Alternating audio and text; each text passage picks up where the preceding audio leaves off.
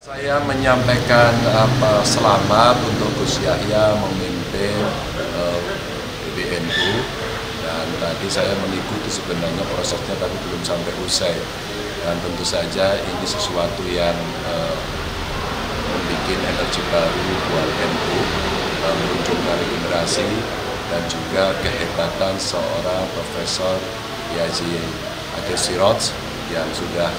memimpin, memajukan dan dalam proses yang begitu sangat bagus. Dan saya aku yakin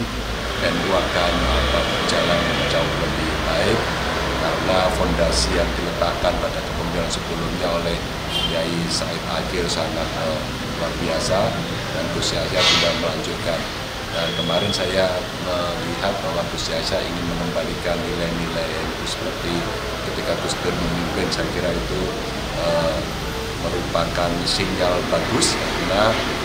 Gus Dur kita langsung ingat bagaimana pluralisme pluralisme terjaga, bagaimana keberpihakan kepada minoritas terjaga dan bagaimana